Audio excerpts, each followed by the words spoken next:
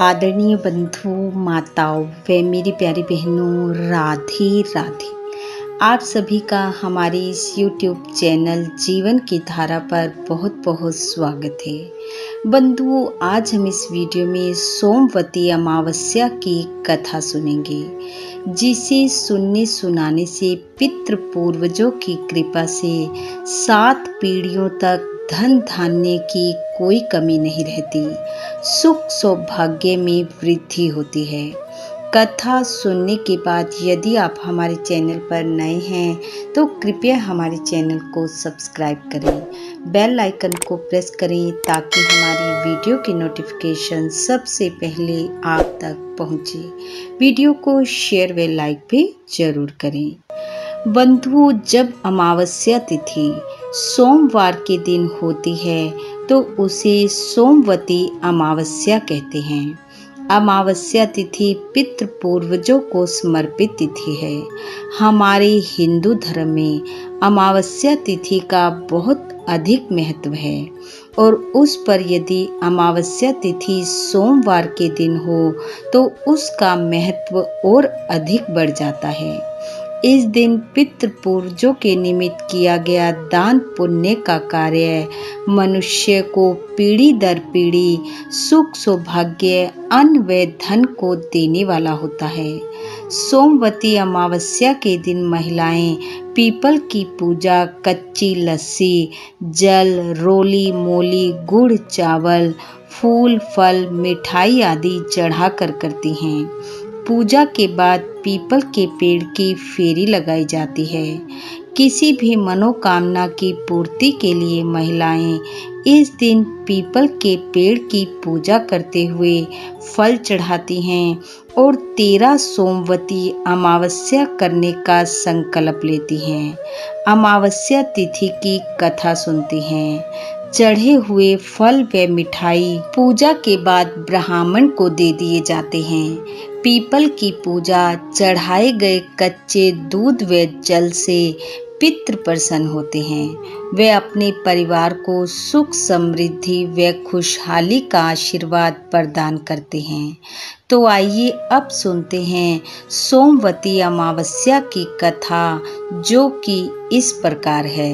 एक गाँव में एक साहूकार अपने परिवार के साथ रहता था। उसके सात बेटे, सात बहुएँ और एक बेटी थी। साहूकार के दरवाजे पर एक जोगी भिक्षा मांगने आता। जब साहूकार की बहुएँ जोगी को भिक्षा देती तो वह उन्हें सुहाग की आशीष देता। और जब साहूकार की बेटी भिक्षा देती तो वह कहता कि, बेटी है तो सुहागन, पर उसके भाग्य में दुहाग लिखा है। यह सुनकर लड़की उदास रहने लगी।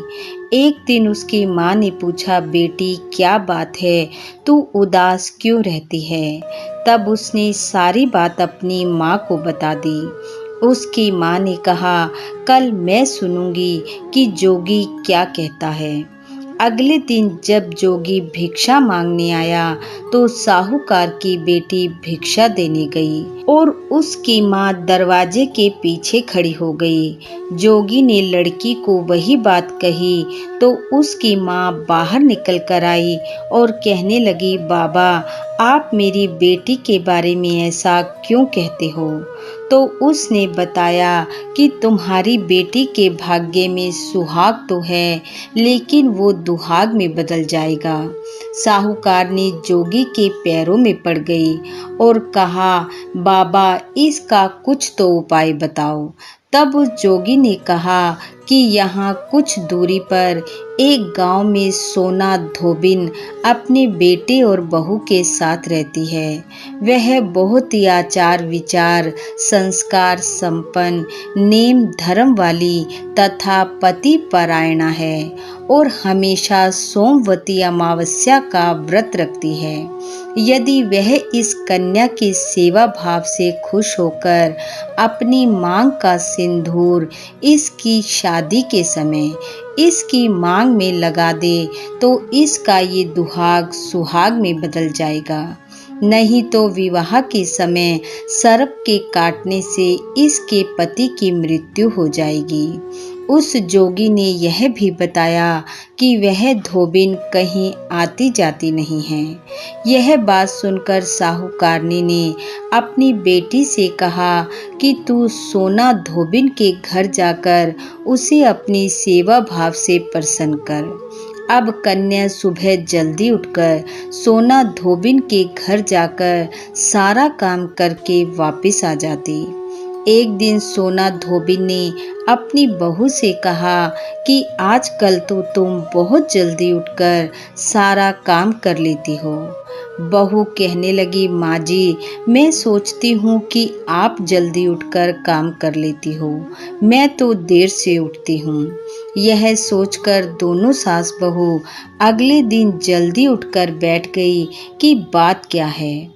उन्होंने देखा कि एक लड़की आई और सारा काम करके वापस चली गई। अगले दिन जब वह लड़की जाने लगी तो सोना धोबी ने उसे रोक लिया और पूछने लगी कि तुम ये सब क्यों करती हो? तब लड़की ने जोगी द्वारा कही सब बात उसे बता दी। सोना धोबिन पति परायण थी और पूरे भक्ति भाव से सोमवती अमावस्या का व्रत रखती थी। उसमें एक अलग ही तेज था। वह लड़की के साथ जाने को तैयार हो गई। सोना धोबिन का पति थोड़ा अस्वस्थ था। अतः उसने अपनी बहू से कहा कि जब तक मैं लौट कर ना आऊँ, तुम कहीं मत जाना। शीघ्र ही वह लड़की और सोना धोबिन घर पहुँच गए। साहूकारनी ने अपनी बेटी का विवाह किया।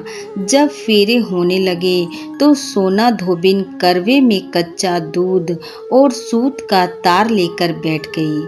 थोड़ी देर में सांप आया और दूल्हे को डसने के लिए आगे बढ़ा तो सोना धोबी ने करवा आगे करके कच्चे सूत की तार से सांप को बाँध लिया। डर के मारे सांप मर गया। इस प्रकार सोना धोबी ने उसे सुहाग दिया और कहा कि मैंने जितने सोमवती अमावस्या के व्रत किए हैं उन सब का फल साहूकार के बेटे को मिले, और जो आगे करूँगी, उसका फल मेरे पति और बेटों को मिले। सब लोग सोमवती अमावस्या की जय जयकार करने लगे। अब सोना धोबिन अपने घर की ओर चल पड़ी। जब वह चली तो उस दिन भी सोमवती अमावस्या थी। वह बिल्कुल निर्जल थी। रास्ते में पीपल के पेड़ के नीचे बैठकर कहानी कही, व्रत किया पीपल के 108 फेरे लगाए। पीपल की पूजा करने के बाद अपने घर पहुँची। वहाँ उसने देखा, उसका पति अंतिम साँसें ले रहा है। अब उसने जो सोमवती अमावस्या रास्ते में की थी, उसका फल संकल्प कर अपने पति को दे दिया। उसका पति तुरंत खड़ा हो गया। सब कहने लगे, तूने ये क्या किया? जो यह उठकर खड़ा हो गया। उसने कहा, मैंने रास्ते में सोमवती अमावस्या की, पीपल की पूजा की 108 फेरी लगाई, व्रत किया, ये उसका ही फल है। तब पूरे नगर में ये ढिंडोरा पिटवा दिया गया कि सब लोग सोमवती अमावस्या की पूजा करें, व्रत रखें और 108 पीपल की फेरी लगाएँ। हे सोमवती अमावस्या, जैसे साहूकार की बेटी को सुहाग दिया, वैसा सबको देना। इस कथा कहानी को सुनने वाले, सुनाने वाले, सब पर अपनी कृपा बरसाना, सबको अमर सुहाग देना, सुख समृद्धि शांति देना, धन धान्य से घर परिवार को भरपूर रखना, इन्हीं शुभकामनाओं के साथ आप सबका बहुत बहुत धन्यवाद। राधे राधे